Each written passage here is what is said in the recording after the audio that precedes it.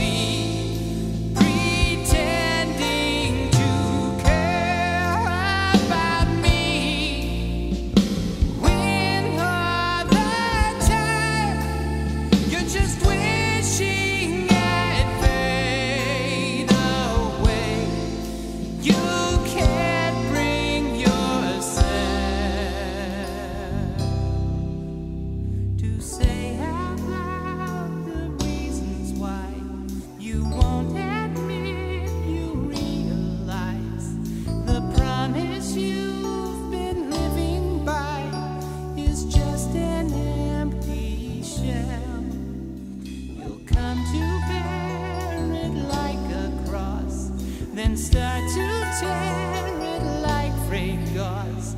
Though I'm ashamed.